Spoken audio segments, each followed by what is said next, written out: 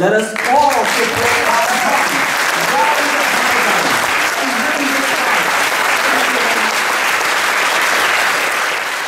Với cái giải thưởng báo chí này là giải thưởng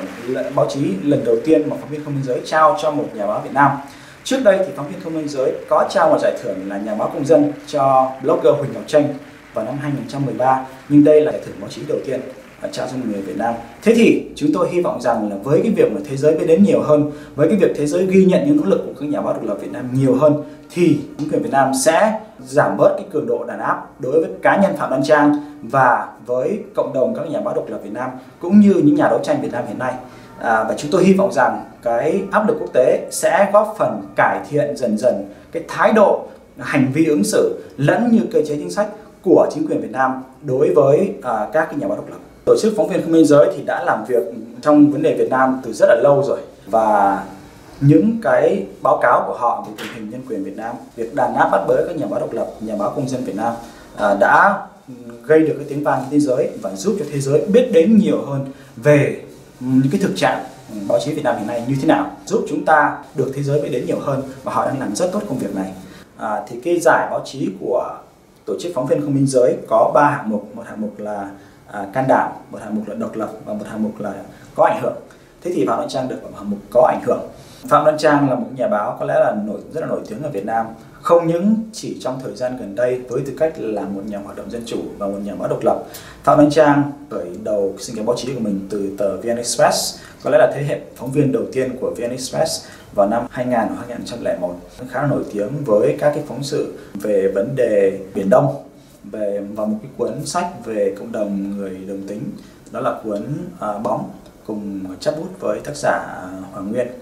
à, và sau này thì Phạm Đoan Trang à, trở thành một trong những cây bút chính của à, giới báo chí độc lập Việt Nam và của phong trào dân chủ Việt Nam. Kể từ năm 2009 khi mà Phạm Đoan Trang bị bắt và bị giam trong đồn công an 9 ngày thì kể từ đó thì Phạm Đoan Trang đã không chỉ còn là một nhà báo mà còn là một nhà hoạt động dân chủ dùng ngòi bút của mình để có thể um, làm thay đổi cái tình hình chính trị ở Việt Nam. Những gì Phạm Đoan Trang đang làm đó là mang thông tin và kiến thức đến cho những người dân bình thường để làm sao cho chúng ta hiểu được uh, về chính trị, về pháp luật, về nhân quyền, về pháp quyền,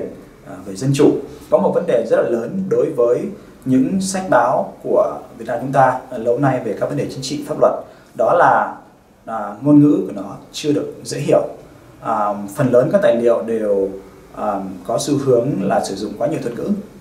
Các cách diễn ngôn cũng à, không có gần gũi nhiều với cái ngôn ngữ đời thường. Và phạm đoan trang đang cố gắng à, lấp vào cái khoảng trống đó cố gắng dùng những ngôn ngữ bình dân nhất có thể à, giải thích một cách dễ hiểu nhất có thể. Những cái khái niệm mà có vẻ trừu tượng có vẻ khó hiểu về thế nào là dân chủ thế nào là nhân quyền thế nào là pháp quyền.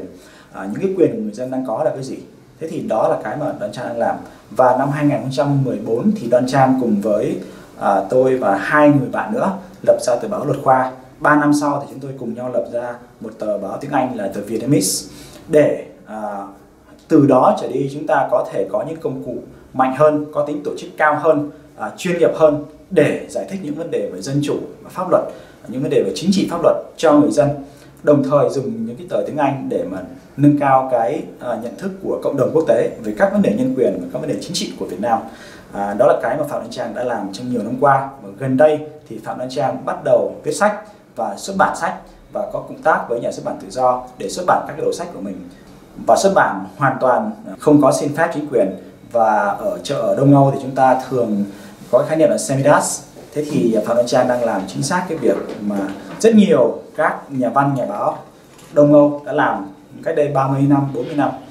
Thế thì đó là một cái nỗ lực không những chỉ mang kiến thức và thông tin đến cho người dân mà bản thân cái việc có những nhà xuất bản độc lập như vậy vận hành nó là một cái thách thức trực tiếp đến chế độ kiểm duyệt của chính quyền Việt Nam. Và nó um, phá tan cái thế độc quyền về thông tin của chính quyền bản thân sự tồn tại của nó đã mang ý nghĩa, chứ chưa nói đến việc nó mang thông tin và kiến thức đến cho người dân.